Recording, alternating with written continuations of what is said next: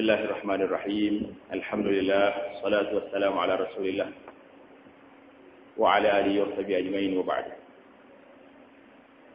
Kita masih lagi berada dalam kitab Musmuniyatul Musalli dalam bab dalam bab khusyuk.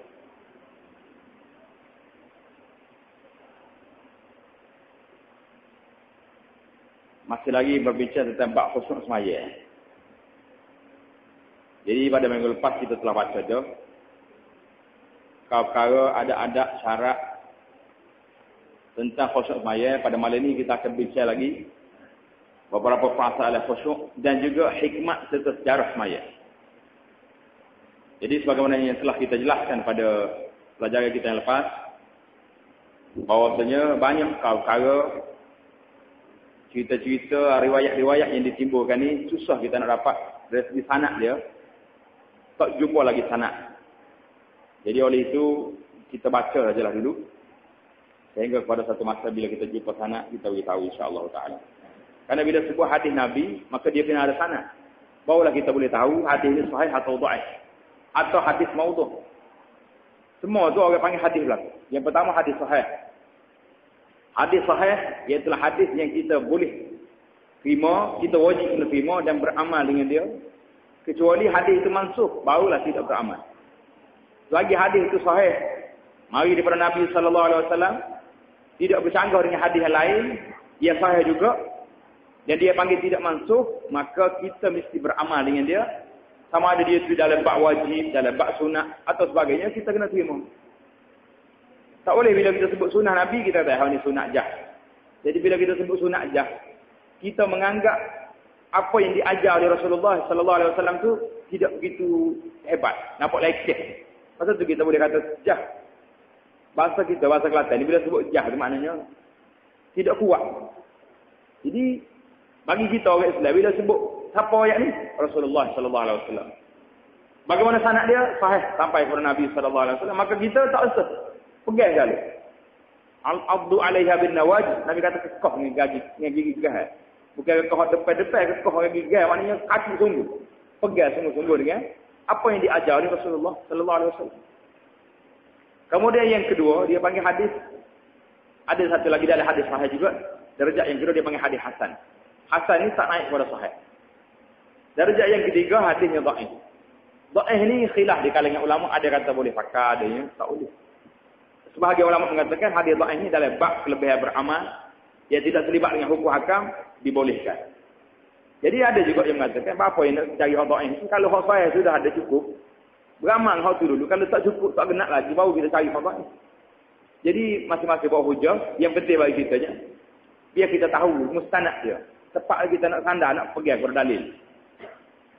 Yang bahaya lagi dia panggil hadis maudhu. Hadis maudhu ni iaitu hadis yang direka-reka cerita kata Nabi kata. Ha, maka hadis ni kalau kita tahu dia ni maudhu, bukan dari bagi daripada Nabi sallallahu alaihi wasallam, maka tak boleh kita kata qala Rasulullah, tak boleh. Dia jadi haram.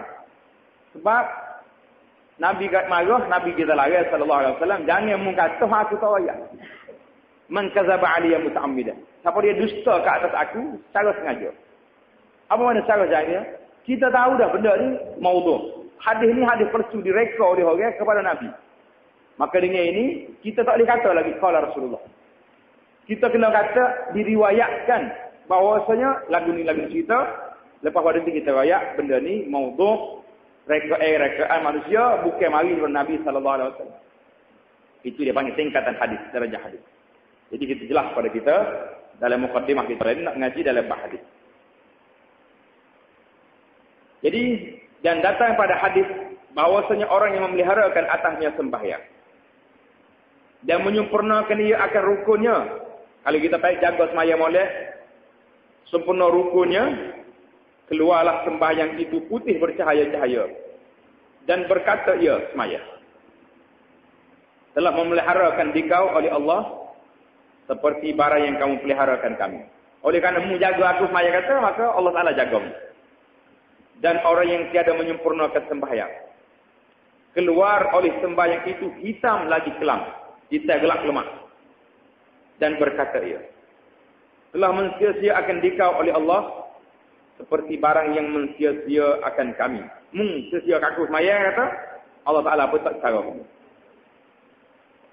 Kemudian digulungkan dia seperti menggulung seorang akan kainnya yang buruk maka dipukul dengan dia akan mukanya. Wal.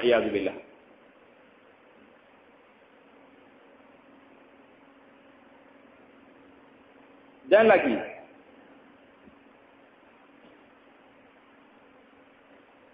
disebut pada hadis sungguhnya sembahyang itu menetapkan segala anggota. Semaya yang khusyuk ni menetapkan segala anggota tak akan dua anggota kita. Dan kelakuannya dan mengkhusyukkan dia dan mengkhudukkan dia. Khusyuk mana kita jadi letak dia. Khuduk mana kita akan menambahkan tunduk dan patuh kita kepada Allah Subhanahu Wa tapi kalau kita semaya tidak memberi apa-apa pesan, itu maknanya ada sesuatu yang tidak kena dalam perbuatan kita, dalam pelakuan kita semaya kita. Bagaimana kita sakit. Orang sakit dia pergi jumpa doktor, doktor kata ubat ni baik. Tapi bila dia makan tu jadi kau tak molek, kau pening. Ataupun lagi makan tak rasa apa-apa. Pening pala pun tak hilang. Cuba pun tak berhenti. Mana ubat tu tak kena. Tidak kena. Bukan ubat tak baik. Ubat tu baik tapi tidak kena pada cara dia. Cara penggunaan. Mikir ke semaya. Semaya ni dia akan tetap anggota kita. Dia akan bui pada kita keimanan. Lebih menambahkan khusyuk dan kuduk kita kepada Allah SWT. Itu di antara hadis tentang khusyuk lagi. Dan setakala melihat Nabi sallallahu alaihi wasallam akan seorang laki-laki bermain-main dengan janggutnya dalam semaya. Ah, dia duduk semaya Allah Akbar, duduk tak duduk janggut. Oh, janggut. Kalau kita ni duduk bagi baju, ha.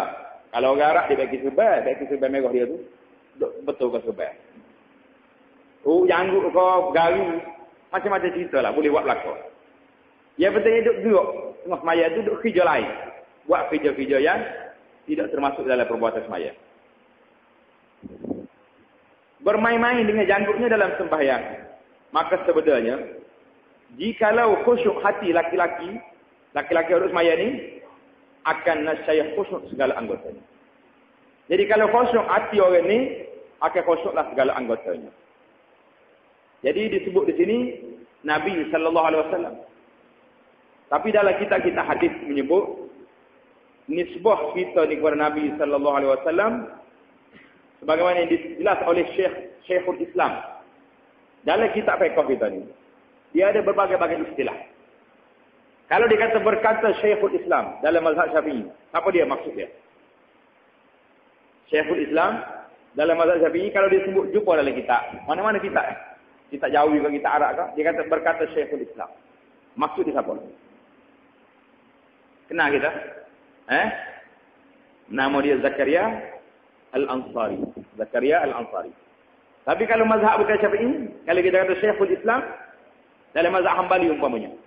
Bila sebut Syekhul Islam, maksud dia Ahmad bin Abdul Halim Ibn Taymiyah. Dia panggil Syekhul Islam Ibn Taymiyah. Jadi setiap mazhab itu ada Syekhul Islam dia, ada gelaran-gelaran tertentu yang dikenali. Jadi waktu sebut hadis ni, Syekhul Islam Zakaria Al-Ansari, seorang ulama besar dalam mazhab syafi'i, dia ta'liq kepada tafsir Al-Baydawi yang kita duk ngaji malam-malam tu. Dia kata isnad sanadnya dhaif. Tapi kata syaraf kepada Al-Jami' Al-Saghir Al-Manawi nama dia. Dia kata yang masyhurnya cerita ni bukan mari kepada Nabi sallallahu alaihi wasallam tetapi cerita ni kata-kata ini adalah kata-kata yang diucap oleh Sa'id bin Musayyib. Sa'id bin Musayyib rahimahullah taala seorang ulama tabi'in saya kata apa dia tengok seorang itu duduk main janggut dia pun kata lau khasha'a qalbu hadha la khasha'at jawarisuhu kalau hati orang ni khusyuk maka khusyuklah dia. Maka di sini kita fahamlah maksud perbincangan ulama di sini bukan hadis. Tapi kata-kata masyhur yang diucap oleh Sa'id bin Musayyib rahimahullah taala. Jadi hadis tentang kalau melihat Nabi itu kita tukar kepada ucapan yang dikata yang diucap oleh Sa'id bin Al-Musayyib tidak mari riwayat daripada Nabi sallallahu alaihi wasallam. Dan maka menyatakan Nabi sallallahu alaihi wasallam Nabi kata apa? Bahwasanya khusyuk anggota dia hurai Itu daripada khusyuk hati. Maknanya Said menurut Said kata sini, khusyuk anggota manusia ni, duduk dia ni, itu mari daripada khusyuk hati dia. Kalau hati tak khusyuk, maka dia mulalah gerak, mikir, duduk ngoyak, duduk, duduk mana, tengok sana sini, macam-macam perbuatan yang boleh buat lagi. Dan tiada sempurna sembahyang dengan ketiadaannya. Tak sempurna sembahyang, kalau kita tak khusyuk. Lagi tak khusyuk, sembahyang kita tidak sempurna. Dan adalah salah. Saleh-saleh. Apa dia salah saleh-saleh itu? Eh? Salah ni maksudnya ulama-ulama yang terawal, terdahulu. Itu mana salah. Kalau kita kata siapa dia ni? Orang panggil ulama salah. Mana ulama yang terawal tu dulu. Ada yang mengatakan salah ni termasuk yang Nabi kata sallallahu alaihi wasallam khairul quruni qarni. Sebaik-baik orang ialah kurun aku. Nabi sendiri yang sahabat-sahabat. Kemudian Nabi ulah tiga kali. Khairul quruni qarni. Summa yalunhum. Kemudian lepas pada itu, pada itu maknanya sehingga 300 tahun saja. Ada lagi riwayat tambahan sehingga tahu yang kurun yang keempat. 400 tahun. Tapi riwayat yang masyhurnya 300 tahun. Pasal itulah berbeza orang okay, menafsir apa di mana salah. Salah ni maksudnya golongan yang hidup 300 tahun terawal. Itu mana salah. Ada yang mengatakan salah ni tak kira bila-bila. Dia penting dia ni satu manhaj, satu cara pemikiran. Selagi orang ni mikir berdasar kepada apa yang dibawa oleh Rasulullah sallallahu alaihi wasallam, yang dibawa oleh para sahabat, maka orang ini dipanggil salaf, memikir pemikiran aliran salaf. Walaupun dia hidup di kurung yang ke yang ke-15 kan. Itu dia ada sendiri istilah salaf. Tapi yang masyhur dalam kitab-kitab kita ni berkata dan adalah salaf. Maknanya ulama-ulama yang terawal dahulu. Yang saleh. Lagu mana dia orang ni sayang? Sehingga-hingga. Ha, maknanya sangatlah. Sangat-sangat khusyuk. Mana itu mana sehingga-hingga? Sehingga-hingga mana sangat khusyuk pada sembahyang. Orang duduk sembahyang sembahyang dan menghengga-henggakan dia sehengga-hengga. Ha, lagi mana nak urut tu? Apa maksud dia? Menghengga-henggakan dia sehengga-hengga. Eh? Maksudnya berusaha dengan sedaya upaya nak khusyuk semaya. Itu maksudnya menghengga-hengga sehengga-hengga ni. Ha. Maknanya habis usaha Wih, dalam kitab tepi maksudnya mereka ini ulama-ulama terdahulu sangat-sangat khusyuk pada semayanya dan berusaha sedaya upaya untuk berlaku khusyuk dalam semaya. Itu maksudnya sehingga-hingga itu.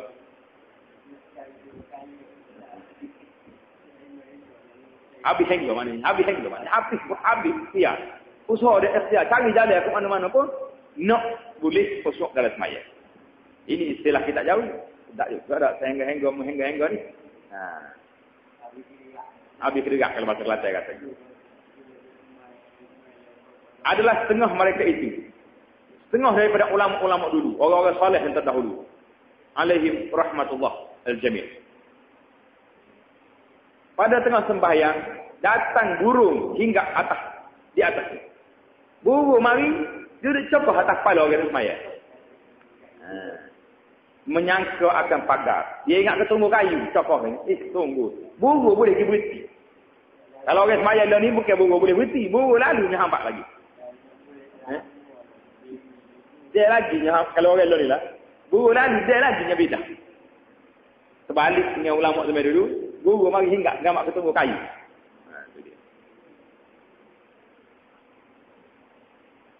Sesuatu yang jamat. Apa mana jamat? Mana apa jamat? Eh? Sesuatu yang keras mana jamak. Yang tidak bergerak, itu masih jamak. Tanda baik-baik. Biar habis ngaji kota kita ni boleh baca sendiri insya-Allah taala. Kerana tetapnya, tak geraknya dia tu. Dan panjang tiang. Allah Tiang itu maksudnya berdiri dia tu lama. Untuk caca bangun saya. Dan sujudnya lama juga. Pasal tiang ni satu, satu rukun yang boleh panjang. Sujud boleh panjang juga. Orang lain-lain, orang lain-lain itu kena pendek. Mana kita kalau kita nak doa banyak-banyak dalam sujud, kita boleh doa. Selagi tak lengah. Dari itu jangan akak. Kalau semaya sore lah.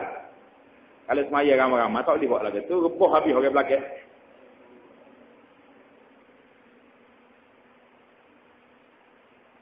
Dan adalah setengah daripada mereka itu. Mereka itu, mereka itu siapa?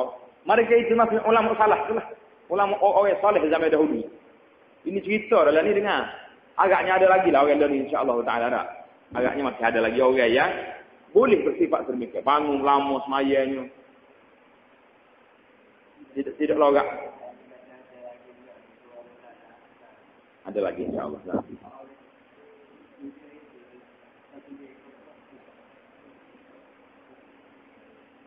Dan adalah setengah daripada mereka itu berkata ia bagi ahlinya. Ahli itu maksudnya isteri dia dan anaknya. Dia royak ke ahli dia, royak ke keluarga dia, apabila masuk aku kepada sembahyang. Dia kata kalau aku sembahyang, maka perbuat olehmu barang yang bisa apa kehendak kamu. Ha, itu dia. Kalau aku sembahyang, mu buatlah gapo nak buat. Jaga kau, jaga kau, bisi kau, melau kau, tak apa berlaku. Kita kalau lebih anak gagam melau, maksud saya, tak ingat dalam berapa rakaat dah ni. Duk mikir kau bodoh tu. Orang dulu terbalik. Dia kata kalau aku semaya, membuat lega apa aku tak, tak dengar aku satu. Aku duduk kecek dengan Allah Subhanahu Wa Taala. Ha. Itulah nak tahu kita kosok kodok semaya. Kalau kita sebayang kita semaya, orang mai kecek kat kita. Kita duduk dengar dia buah kecek. Ah, sudah lah. Dekat berapa dah tadi? Lupa dekat dah. Tak nak pergi. Perbuat olehmu barang yang betapa kehendak kamu. Yang ini daripada mengangkatkan akal suara dan hingga bangga. Boleh berlaku. Membuat lega apa pun. Aku tak tak kabar, tak ingat, tak dengar masa temu kesek gapo.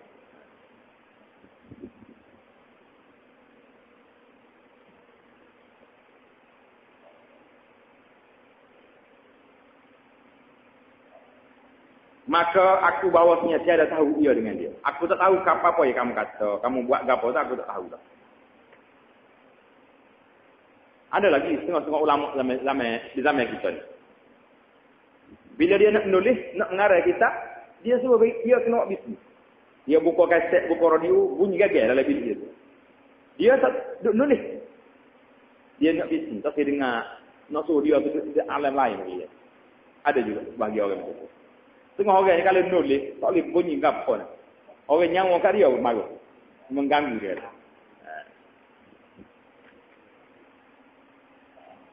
dan adalah setengah daripada sahabat radhiyallahu taala anhu. Sembahyang dia dalam kebun pohon utama baginya. Mana seorang sahabat ni dia ada kebun dia, ada kebun utama. Dia pergi semaya dalam kebun utama dia. Maka terbang burung daripada satu pohon kayu kepada satu. Burung duduk jalan, duduk terbang atas kayu, duduk ingat atas kayu. Dan jadilah ia menilik kepadanya. Dia ni duduk gelis burung. Moga buku lalu tu rupai tu sekelis nak sabar juga tak? Maka melalaikan dia daripada sembahyang. Buruk ni menyebabkan dia lalai daripada sembahyang. Maka tak kalau diketahui akan dirinya lalai, sukarlah dia atas. Bila dia teringat balik aku ni lalai daripada sembahyang, dia tengok buruk ni, susah hatilah dia. Susah hati orang dulu. Maka dijadikan kebunnya sekalian sabilah Lepas pada semaya dia kebun ni kaca semua dia tu. Sedekah derma pada jalan Allah Taala. Kerana ia melalaikan daripada sembahyang. Oh, kalau dia siapa nak semaya, siapa nak lalai. Tak semaya lagi buat kebun tak. Jiwa kebun tak ada semaya. Ha. Oh, ni baru lalai sungguhnya, patutnya. Tapi orang dulu tidak. Lalai dia tu bila melalai ke dia daripada sosok semaya tu, dia lalai tu. Kalau kira lagi tak dia buat kebun dah. Orang ni, Mungkin semaya apa duk buat-buat kebun. Demikian lagi kelakuan salaf yang saleh. Sebab mereka mengetahui mereka itu. Pasal apa orang itu jadi lagu ini? Sebab mengetahui mereka itu akan kebesaran pada sembahyang. Dan amat ketinggian tempatnya pada Allah, di sisi Allah maksudnya. Pada Allah dan pada Rasulnya di sisi Rasul. Mana di sisi Allah dengan Rasulnya, sifat Ismail ini sangat tinggi. Dia sangat besar kedudukan dia. Pasal itulah dia orang ni jadi lagu tu. Jadi khusyuknya, jadi semangat kuat. Dan kata setengah ulama. kata setengah ulama. Telah sampai kepada kami khabar. Bahawasanya Allah subhanahu wa ta'ala membahagikan akan segala amal sembahyang atas 40 soft daripada malaikat. Jadi cerita ni Allah alam. Kita cari, cari lagi dia di sana dia. Jadi Allah Ta'ala bagi semaya ni kepada 40 stok malaikat. Malaikat tu beratus 40 baris, dia stok semaya itu. Amat semaya bagi pada tu. Pada tiap-tiap stok 70 ribu. Tiap-tiap stok tu ada 70 ribu orang malaikat. 10 daripadanya berdiri tiada rokok. 10. 10 diri tak rokok. 10 ribu. Dan 10 rokok tiada sujud. Duduk rokok saja, pakai tak kira-kira. Dan sepuluh sujud, tiada angkat kepalanya. Dan sepuluh duduk, duduk tiada berdiri. Dan dihimpun akan segala sekalian amal mereka itu bagi hamba yang mukmin dalam dua rakaat yang sendirinya disembahyakan keduanya. Ha, jadi kelebihan semaya umat ininya mengikut cerita ni dia kata hok melekat duduk sujud tak bangun bang tak sujud rokok tak tak tak tak, tak, tak, tak, tak bangun ni. Jadi kelebihan dia ni sujud dalam dua rakaat semaya kepada umat ini. Manakala betul cerita inilah satunya perkara yang besarlah nikmat semaya bagi umat Nabi Muhammad sallallahu alaihi wasallam.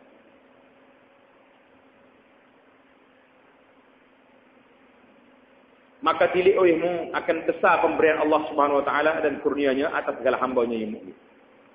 Kita pilih lakukan besar betapa besar, betapa besar betapa tingginya kurniaan Allah Subhanahu wa taala ke atas hamba-Nya yang mukmin. Dan pada riwayat Jabir dan Mu'az radhiyallahu taala anhuma. Tatkala dinaikkan Rasulullah sallallahu alaihi wasallam ke langit. Bila Nabi kita naik ke langit? Eh? Nabi kita naik ke langit bila? Tak tahu. Masa Isra, masa Mi'raj. Isra itu berjalan daripada Baitul Makkah ke Baitul Maqdis. Mi'raj maknanya naik itu mana Mi'raj naik kepada Baitul Maqdis ke langit. Waktu itu, mengikut riwayat ini mengatakan Rasulullah sallallahu alaihi wasallam naik dinaikkan ke, ke langit. Melihat ia pada langit dunia, malaikat berdiri selama-lama. Apa maksud langit dunia? Eh? Apa maksud langit dunia? Langit bawah sekali. Itu maksud langit dunia. Apa mana dunia? Sebab dia ni hampir kepada kita. Dunia mana dekat. Itu maksudnya langit dunia. Langit yang paling bawah sekali, yang paling dekat sekali dengan, dengan bumi. Pada langit dunia, Nabi kita lihat malaikat berdiri selama-lamanya. Dijadikan Allah akan mereka itu. Malaikat ni tak ada duduk. Duduk saja. Menyebut zikir akan dia, tiada rokok. Malaikat ni pakai duduk saja lah dia. Tak mula-mula jadi dulu, siapa akan Nabi kita kita tengok dia. Dan pada langit yang kedua, rokok selama-lamanya, tiada mereka itu mengangkat kepala. Rokok semua tak pernah angkat kepala. Dan pada langit yang ketiga, nya, sujud akan Allah, tiada mengangkatkan kepalanya, melainkan ketika memberi salam Rasulullah sallallahu alaihi wasallam akan mereka itu. Maka diangkatkan kepalanya kerana menjawab salam Rasulullah. Jadi malaikat tengah sujud, Waktu Nabi kita wisalah tak nak jawab dengan sujud juga. Tak sama. Dia buat akak sekali. Akak sekali. Sudah jawab, sudah salah. Sudah jawab salah, rokok sujud balik.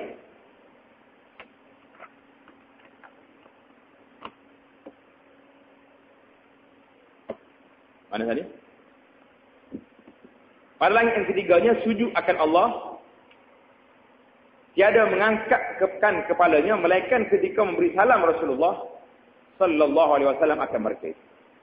Mana dia akak salamnya bila waktu Nabi sallallahu assalamualaikum dia buat akak kepala. Waalaikumsalam. Maka diangkatkan kepalanya kerana menjawab salam Rasulullah sallallahu alaihi wasallam. Kemudian maka sujud pula selama-lamanya. Sujud pula. Maka kerana inilah dituntut dua kali sujud pada tiap-tiap rekaat. Tahu dah cerita dua kali sebab Eh? Jumpa dah cerita. Ini cerita dia tentang dua kali sujud. Maka kerana inilah dituntut dua kali sujud pada tiada rakaat. Dan pada langit yang keempat, tasahud mereka itu selama-lamanya. Duk tasahud kamu. Dan pada langit yang kelima, Kelimanya mengucap tasbih dan berzikir mereka itu selama-lamanya. Dan pada langit yang keenam mengucap takbir mereka itu selama-lamanya. Dan pada langit yang ketujuh, malaikat mengucap ya, salam. Masa dijadikan Allah akan mereka itu. Mengucap salah ya saja. Sudahlah maya itu. Jadi dalam dalam pengembaraan Rasulullah sallallahu alaihi wasallam ikut riwayat ni, Nabi kita tengok belakang malaikat siam. Malaikat rokok. Malaikat sujud, malaikat tasbih, malaikat duduk tasyahud. Malaikat duduk salam. Maka cita hati Rasulullah sallallahu alaihi wasallam dan ingin bahawa dijadikan baginya demikian segala ibadat malaikat yang di dalam langit itu baginya dan bagi umat. Jadi Nabi kita bila tengok cerita ni kelakuan malaikat ni dia pun beragak benalah bercita-citalah mudah-mudahan aku boleh buat gelik ni amalan lagi ni. Maka tu tak tahu tak tidak wahyu tak terima wahyu semaya lagi sebab wahyu semaya apa sekali naik habis langit dan barulah terima wahyu. Ini tengah jalan baru ni, dia tengok kelakuan ni. Maka setelah mengetahui oleh Tuhannya yang Al-Khallaqul Alim. Tulis malah. Al-Khallaqu Al-Alim. Al-Khallaq Al-Alim maknanya Tuhan yang maha pencipta lagi maha mengetahui. Tuhan tahu dah. Nabi kita nak perangai cerita-cerita nak lagu ni, sudah Tuhan tahu, sudah maklum. Maka mengetahui telah mengetahui oleh Tuhannya yang Al-Khallaqul Alim, yang Maha Pencipta lagi Maha mengetahui akan cita nabinya sallallahu alaihi wasallam. Serta sudah diketahui pada azalnya. Apa makna azalnya? Azalnya pada sedia kala lagi asal lagi tu saya tahu tu. Dihimpunkan segala ibadat malaikat yang dalam tujuh petala langit. Tujuh lapis langit tadi dihimpunkan itu dalam dua rakaat sembahyang kerana memuliakan nabinya dan umatnya. Wallahu a'lam. Kata Muaz dan Jabir lagi. Maka barang siapa berdiri dalam sembahyang serta membesarkan dia dan ditunaikan segala rukunnya dan rukuk dan sujudnya adalah pahala baginya baginya pahala malaikat tujuh dan langit dan orang yang di dalamnya daripada segala kejadian Allah Subhanahu Wa Taala. Mana siapa dia maya molek-molek, cukup rukuk, cukup syarat, cukup rokok dengan sujudnya, dia ni diberi pahala malaikat aduk maya, aduk saja, aduk rokok, aduk sujud tujuh salang itu orang ini boleh pahala kata riwayat ini. Abi lagi kita dalam bab jarah maya, jarah khusyuk pula. Kali ini kita balik kepada hikmah dan sejarah pula. Sejarah waktu semaya pula. Apa dia tak semaya subuh, maghrib, isya dan zuhur asar, apa dia mula-mula semaya. Dan apa cerita dia? Mengikut cerita dalam kitab, kita ni Muniatul Musalli. Jadi cerita ni masyur disebut oleh kitab-kitab. Biasanya cerita-cerita macam ni, kebanyakannya diriwayat dalam kitab-kitab, dipanggil kitab Sofi. Tapi dalam kitab-kitab hadis mungkin kita susah nak jumpa, tapi dalam kitab-kitab tarekat dan kitab tasawuf, banyak dia bicara benda-benda yang demikian ini.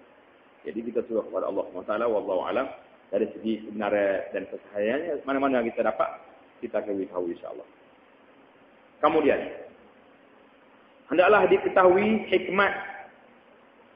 Hikmat ditentukan pada waktu yang lima ini dan pada bila-bilanya. Pasal apa kita semayah subuh? Waktu fajar. Apa bayar zuhur tengah hari? Eh, ingat baik-baik. Dengar baik-baik. Ini cerita dia. Mengikut riwayat dalam kitab kita ni. Satu persatu kita akan cerita. InsyaAllah. Telah dikata setengah hukama. Apa mana hukama? Orang-orang yang cerdik pandai. Itu mana hukama. Ditentukan tiada sembahyang itu menyembahyangkan suatu nabi daripada ambil Allah pada waktunya. Jadi dia tak semaya itu ada Nabi semaya ikut waktu dia. Maka pertama-tama orang yang semaya subuh itu Nabi Adam alaihissalam.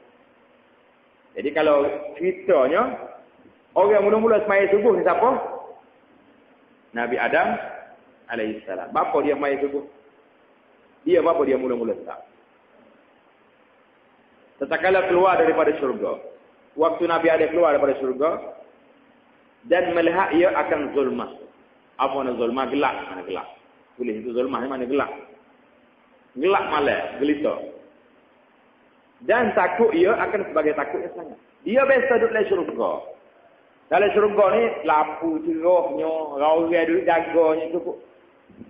Bila waktu saya capok tu atas muka bumi, ada manusia dalam laut.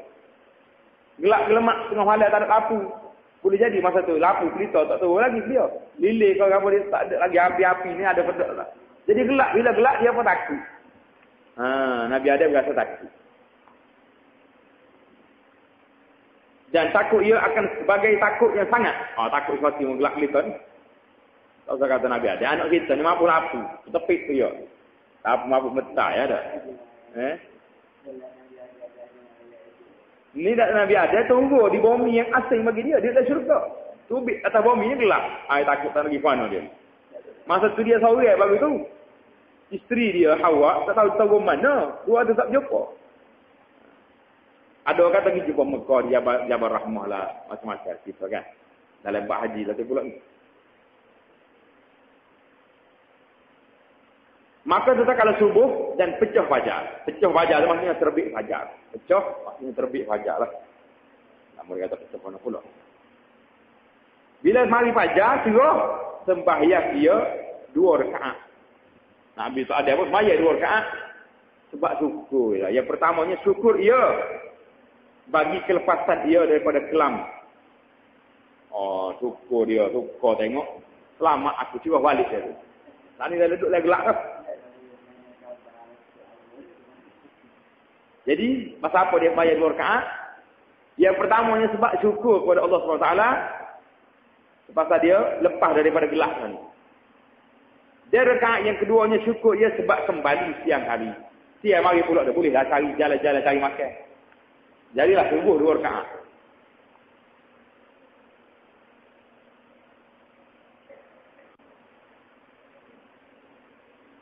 Dan pertama-tama orang yang sembahyang zuhur. Itu Nabi Ibrahim AS.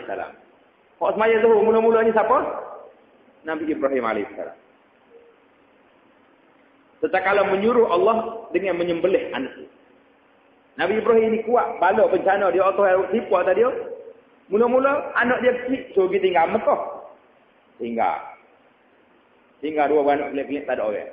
Bila besar pula. Mari perintah suruh melih anak dia. Mana ada orang lain boleh tunduk patung lagu ni. Hak tu lah apa ni saya sebut lah Quran mu ni pada Nabi Ibrahim ni contoh. Dia kena ikut mana sabar dia pasal jarah haji di sejarah Nabi Ibrahim alaihissalam. Kemudian disuruh pula menyembelih. Mula-mula suruh sembelih anak dia. Tak jadi sembelih anak disuruh pula menyembelih akan penebusan. Tuan semula suruh sembelih penebus dia. Siapa dia penebus dia? Kambing dia panggil kibas. Kibas itulah penebuh dia ni. Dan adalah seru itu, seru itu maknanya seru yang mari daripada daripada Allah SWT melalui malaikat pada ketika gelincir matahari. Jadi waktu tu, waktu malaikat wak mari, wak mari suruh melih kibas ni, ganti daripada anak dia tu waktu gelincir matahari, waktu zuhur. Ha, jarak lah ni. Maka sembahyang itu empat rakaat. Jadi sembahyang zuhur ini empat rakaat. Pasal apa empat rakaat? Yang pertama syukur bagi penebusan. Syukur sebab dia boleh penebus. Yang keduanya, bagi membukakan duka cita anak dia. Rekaat yang kedua dia semaya sebab anak dia lepas berduka cita kena sembelih. So, selamat anak dia. Dan yang ketiga, bagi menuntut kerajaan Allah Subhanahu Wa Taala daripadanya. Rekaat yang ketiga nak menuntut keridhaan Allah Subhanahu wa taala daripadanya. Dan yang keempat kerana keadaannya sebab diberi penebus yang amat besar. Allah. Penebus yang amat besar ni maknanya bukan wei hak guru dak ni. Wak mari sibah hak besar gemuk. Seperti firman Allah Taala wa fadainahu bi zabhin azim. Wa fadainahu azim. Wa fadainahu bizabhin azim. Surah Al-Safat pilih ayat 107. Wa fadainahu bizabhin azim. Surah Al-Safat ayat 107. Dan kami tebus akan dia dengan sembelih kibas yang amat besar. Iaitu kibas yang dalam nuskah lama, kitab lama tu ada ada yang dua kali dah. Kibas yang kibas. Buat kibas yang kedua tu. Salah. Dia berulang. Kitab hak lama. Tidak ada kibas dua kali. Ada. Foto yang kedua tu. Tidak cetak. Oh, ini tak ada. Hak baru tak ada dah. Hak lama. Wa fadainahu bizibhin azim. Dan kami tebus akan dia dengan sebelah kibas. Yang amat besar. Yaitu kibas yang dibawa turun daripada syurga iaitulah kibas Habil. Habil ni kenal siapa dia? Eh? Kenal Habil dengan Qabil kita kenal. Dia anak mula-mula ah, Nabi Adam alaihissalam bila dia turun daripada lagi daripada syurga. Lepas pada dia jumpa dengan isteri Hawa, boleh anak Tiap boleh anak dia ada kembal lalu. Ada seorang laki-laki, seorang perempuan. Seorang laki-laki, seorang seorang perempuan. Jadi Qabil ni Abel. Adik dia seorang perempuan. Beranak yang kedua pula mari Habil, ada adik perempuan juga. Jadi Qabil boleh nikah dengan adik Habil. Habil boleh nikah dengan adik adik Khabil. Itu syariat yang pertama ni. Mula-mula. Mula tak ada manusia lagi. Kalau tak nikah dua orang ni, tak ada manusia lah lepas pada ni. Nak mari ke mana? Jadi syariat Nabi ada, boleh nikah adik, tapi jangan hak kembar sekali. Adik-adik hak, hak beranak lain-lain boleh kahwin. Maka terjadilah peristiwa peristiwa yang berlaku. Jadi adik-adik adik kepada habisnya tak somel. Ha, cerita sikitlah sejarah. Adik kepada Habib, tak somel. Adik kepada Qabil, somel. Jadi berebut orang Tina somel ni, jak mula lagi. Mula-mula tak. Jadi dua-dua ni bala. Bila dia bala, mereka ni kata, kita buatlah undian, nak tengok siapa dia betul. Buat kemuka ke satu korban kepada Allah Subhanahu Taala. Jadi Qabil ni kerja dia nya petani, nanam sayur, nanam pokok-pokok. Habil ni kerja pegang kambing. Habil ni budak juru. Budak juru. Iz qarraba qurban. Waktu dia nak buat mai korban dia ni, Habil ni pergi pilih kambing yang paling gemuk sekali. Kok mari kambing ni. Tok sini. Jadi kalau hak primanya api tu, maaf dia diangkat naik. Kobe dia pula kupi. Gi cari sayur dia tu hak hak buruk-buruk makan dolak, kok pergi tambul situ nak nak minta korban supaya tu terima. Ha. Mana sepatutnya dia jadi tak baik. Nak oyak sini kalau kita nak korban, nak buat gapo-gapo, nak suruh, nak derma kepada Allah SWT ni, kena pilih hak baik, hak molek-molek. Jangan kita cari hak buruk hak apa ni hak tak pakai hijau dah. Ai kita sekah ni tak jadi lah gitu. Naknya hak molek pasal kobe ni habis ni dia pergi pilih kambing dia pergi hak paling besar kali gemuk. Oh aku ni lah kena suruh Tuhan ada.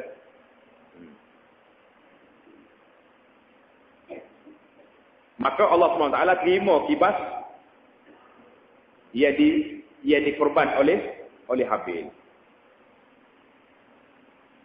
Jadi mengikut dalam tafsir Ibn Kathir, kibah inilah yang disebut dalam Quran wa fadainahu bi zibhin azim. Yang kami apa ni Allah SWT sebut dalam Quran ni, kibah inilah diturunkan kepada Nabi Ibrahim sewaktu waktu nak nak sembuh anak dia tu, waktu nak sembelih Nabi Ismail alaihissalam.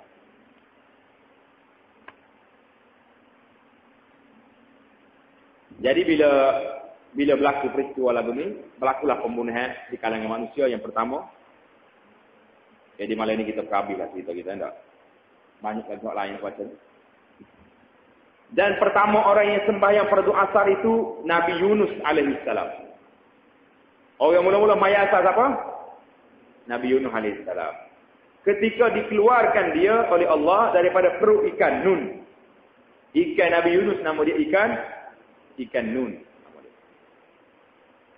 Seperti burung anak yang tiada berbulu bagi. Malulah dia ni telah dia ikan. Bila telah dia ikan, bila ikan kehak tu mula, dia ni macam anak buruh lah anak bulu lemek lotek. Tahu tak apa? Nabi Yunus alaihissalam. Dan ia di dalam empat empat kelam. Mana dia Nabi Yunus duduk dalam empat lepak apa empat lapis gelap. Empat kali gelap orang panggil. Empat kelam. Pertama kelam zulmah kesalahan. Yang pertama sekali gelap dosa. Sebab dia lari daripada dakwah. Yang kedua kelam airnya. Gelap tu dalam air dan dalam, dalam air dia dalam laut.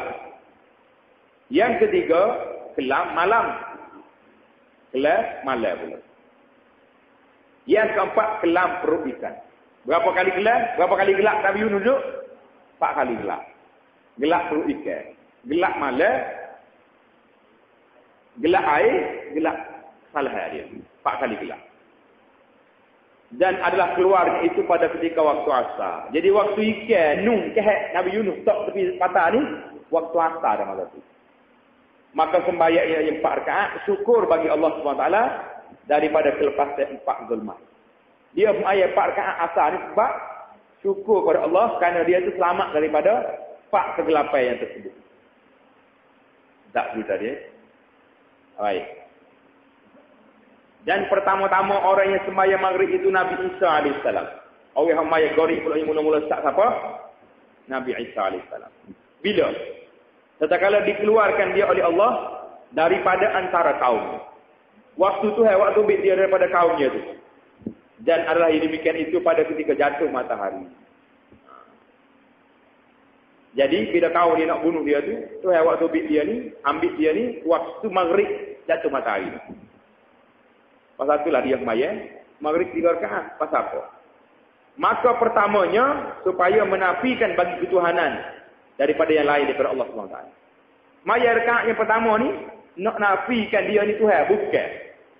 Orang-orang pengikut dia mengatakan, Isa Ibnu Allah, anak Tuhan. Tak, dia takut maya ni syukur. Kalau Tuhan telah selamat aku daripada dipuja oleh oleh buah-buah Nasrani. Yang kedua, rakaat yang kedua pula bagi menafikan tuhmah, tuduhan daripada ibunya daripada dituduh oleh kaumnya. Jadi yang pertama nak menafikan daripada dia ni Tuhan. Yang kedua tuduh orang kepada mak dia mengatakan Maryam alaihissalam zina. Dan yang ketiganya kerana memberi bekas akan ketuhanan itu bagi Allah jua. Jadi Tuhan ya, Tuhan yang apa ni berkuasa bekas pada segala-segala segala kerja buat kita. Kerana inilah dua rakaat yang dahulu itu berhubung keduanya dan yang ketiganya tinggal sendirinya. Maknanya dua rakaat dia mula-mula start sebab dua-dua ni nak tolak tahmuh orang. Okay. Itu dia. Pasal tu dia kembar dua. Yang ketiga ni balik kepada Allah Subhanahu Wa Taala. Eh. Pasal apa dua? Dua. Lepas tu baru, baru apa ni? Kembar dua uh, tasahud pas nak naik sekali lagi. Sebab dua tu dia ngemuk dia. Duduk sekali dua mana. Berhenti orang apa ni baca tasahud, naik pula rakaat satu rakaat nak menafik nak suruh balik segala puasa menentukan benda-benda ni hak Allah Subhanahu Wa Taala. Jelas jelas. Insya-Allah taala cerita dia ni. Ya. Umat dia tahu.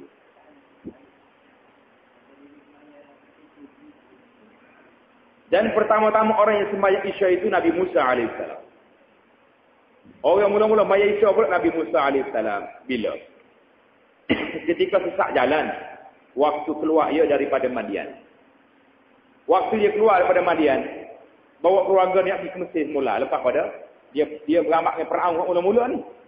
Kalau kita cerita dalam tafsir waktu pagi tu. Bukan ni. Kalau ni lepas daripada dia beramak dengan Fir'aun. Fir'aun Fir'aun tergelar dalam laut Kalzum dah. Nah, cerita ni Madian ni. Kalau mula-mula hijrah yang pertama ni. Ha. Dan adalah padanya itu dalam duka cita isterinya. Bawa isteri. Tengah malam buta gelap geremak. Dan duka cita Harun saudaranya, adik dia duka cita. Dan duka cita seterunya Fir'aun. Aku lagu mana nak pilih mula kau. Nak pilih mula ke ni. Fir'aun terima pada ni. Mungkin dia bunuh orang ni. Bila pada balik daripada lagi Madian. Dan duka cita beberapa anak dia bawa anak ni. Maka dilepaskan Allah daripada yang demikian itu sekaliannya dengan janji yang sebenar. Dan ada yang demikian itu pada waktu Isya yang akhir. Maka sembahyang ia empat rakaat. Syukur akan Allah daripada segala duka cita yang empat itu. Jadi empat rakaat ini marilah duka cita Nabi Musa. Dan pada riwayat yang lain bahawasanya subuh itu bagi Nabi Adam. Dan zuhur bagi Nabi Daud. Dan asar bagi Nabi Sulaiman. Dan maghrib bagi Nabi Yaakob. Dan isya bagi Nabi Yunus. Alaihi wassalatu wassalam. Jadi itulah cerita kita pada malam ini. Yang penting bagi kita nya sama ada dia tu cerita ni mari waris atau waris daripada Nabi sallallahu alaihi wasallam sejarah ni yang pentingnya kita mesti semaya kerana perintah Allah dalam Al-Quran dan Nabi kita sallallahu alaihi wasallam buat sendiri. Lagu mana Nabi nak tahu waktu semaya? Macam mana Nabi nak tahu waktu semaya? Ya itulah Jibril alaihi salam mari dia semaya dua hari dia mari. Dia mari hari yang pertama dia mari di awal waktu. Hari pertama, awal waktu. Dia ajar Nabi Fayah. Masuk waktu zuhur, zawal isyak. Waktu matahari gelis dia tengah lagi. Esok, dia mari pula waktu di akhir waktu Fayah zuhur. Nah, jadi hari pertama di awal waktu, esok, akhir waktu. Jibril AS rakyat kepada Nabi SAW, al-waktu baina hazain. Dia kata waktu maya di antara dua waktu ni. Jadi, pandailah. Dia kira lagu mana pun, yang penting bagi kita nya kita kena semaya sama ada sejarah tu apa ni sejarah yang disebut kerana kita sudah tahu Nabi kita sallallahu alaihi wasallam syariat kita ni adalah syariat yang mustaqim syariat syariat orang dulu kalau tidak bercanggah syariat kita kita boleh habis dia kata syar'u man qablana syarat syariat perundangan orang dulu tak semestinya jadi perundangan kita macam zaman Nabi Adam alaihissalam dia boleh nikah adik-adik. Qabil nikah dengan adik Habil. Habil nikah dengan adik Qabil. Ha, tapi cara kita mana boleh nikah lah. Kalau ada hak gila si kedua tu kita lain lah. Tu bukan nikah lah tu. Bahasa jenis orang panggil pagar makan padi. Ha, tak ada arah lah. Wal'iyazubillah minta selamat kita. Dengan Allah SWT supaya Tuhan selamat kita semua daripada kau-kau yang tidak diingini berlaku pada kita. Yang pentingnya kita mesti menunaikan semaya. Berikut rukun dengan, dengan syaratnya dengan kosong sedaya upayanya, sehingga-hingganya kita coba lagu mana nak buat biar kita ni boleh khusyuk dengan sedaya upaya kita insya-Allah taala aku lu qauli hadza wa astaghfirullah li lakum سبحانك اللهم وبحمدك أشهد أن لا إله إلا أنت أستغفرك وأتوب إليك.